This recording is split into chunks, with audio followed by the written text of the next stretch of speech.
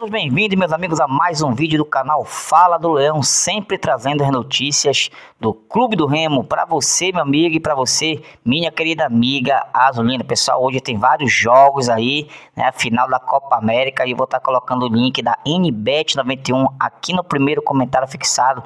Clica nele aí, aproveite o super bônus de 100% no seu primeiro depósito, papai. Bora fazer as suas apostas, né, se cadastrando no link da NBet 91 que tá aqui no primeiro comentário fixado, beleza? Apostou, ganhou, a NBet pagou. Meu patrão, se inscreva no canal aí, deixe o seu like, deixe seu comentário, ative o sininho das notificações, né, compartilhe nossos vídeos com quem você quiser aí. Se você quiser no entrar no grupo de WhatsApp Fala do Leão, mande um zap para o 98107 3767 para você estar tá participando do grupo de WhatsApp Fala do Leão. Você já sabe qual é a nossa linha de raciocínio aqui, sempre colocando pressão nesses diretores medíocres aí que pensam pequeno para o nosso tão grandioso clube, né? E aqui ninguém passa pano, ninguém puxa saco e ninguém baba ovo, entendeu? Então, a nossa linha de raciocínio é essa aqui, né? Indo para cima desses dirigentes aí para ver se, se eles contratam jogadores jogadores que prestem, né, porque já chega de, de apequenar o nosso clube. Então, se você né, segue essa linha de raciocínio, vem-te embora aí, te inscreve no canal, né, que diariamente a gente vai estar tá aqui trazendo as notícias do Clube do Remo para você. Claro, primeiramente torcendo para esse clube amado que é o nosso querido Clube do Remo. Beleza, pessoal? Vamos às notícias aqui, pessoal. Uma boa tarde aí, um bom domingo, tá, galera? O Remo tá praticamente escalado, né? Se não me falha a memória, hoje vai ser o último treino. Já, já quer dizer, já ocorreu o último treino hoje de manhã lá no campo do Mirassol. E o Remo deve vir com Léo Lang, né, pessoal, estreando na titularidade. É, já informei para vocês aqui que o Marcelo Rangel se contundiu, por isso que contrataram o novo goleiro né, que é o Vitor Lube, tinha muita gente já metendo cacete, inclusive eu, mas é por isso que a gente tem que pesquisar, né, se orientar para não falar besteira.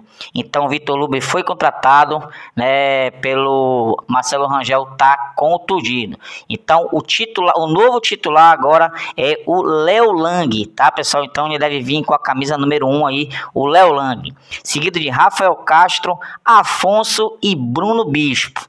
Tá, galera? No meio aí, é, Diogo Batista, Pavani, Jaderson e Elde. Tá, pessoal? O Helder está entrando no lugar do Raimar. Né? O Raimar está é, tá suspenso com o terceiro cartão amarelo. Beleza?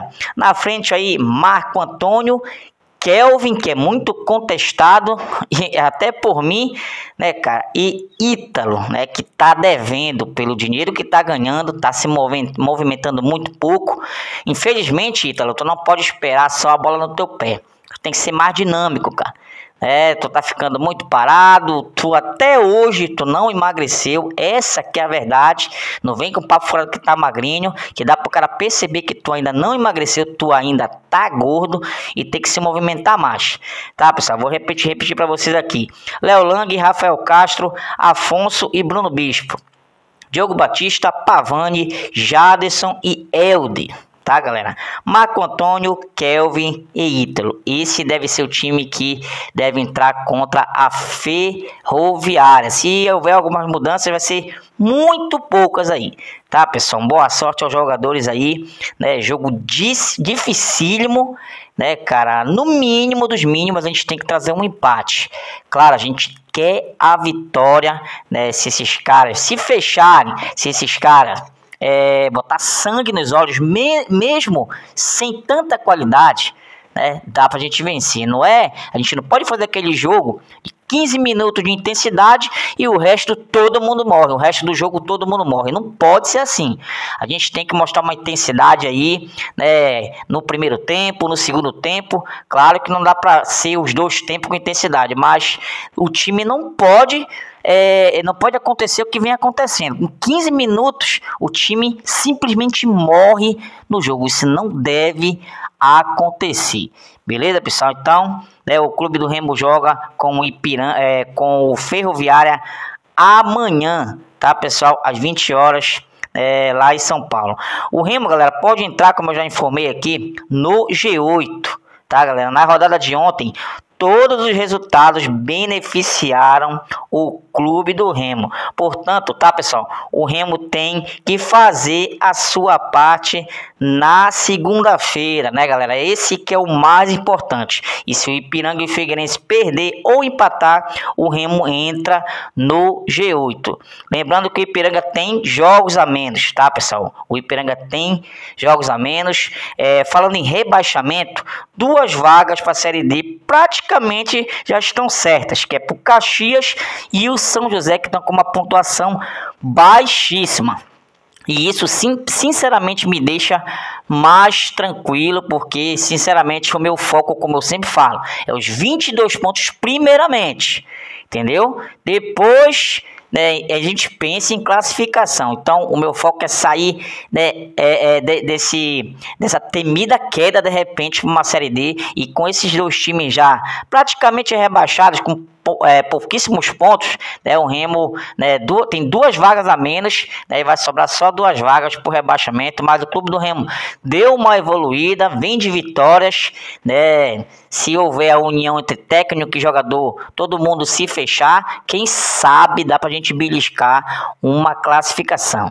É difícil, mas não é impossível.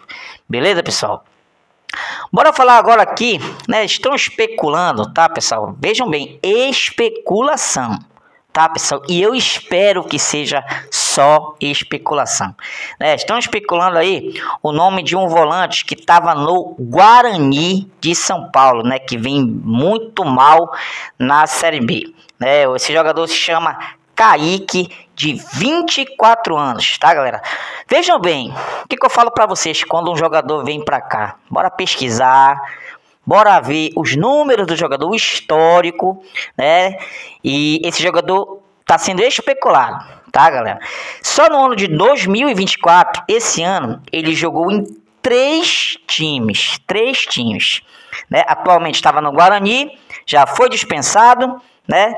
É, jogou no Botafogo e jogou em um time do exterior. Então, resumindo, ninguém quer esse jogador. Estava encostado, jogou no Guarani cinco jogos, nenhuma assistência, nenhum gol. Né? Ele é cabeça de área, também pode jogar de meio de campo, né, cara? Ou seja, carimbo Fábio de contratação. Eu espero, cara, que seja só especulação né, a vinda desse jogador aí, o volante Kaique. Né? A gente ia fazer comentário sobre esse jogador, mas vamos esperar. Vocês lembram que o Rodrigo Santana vetou a contratação do Dindé, né, cara?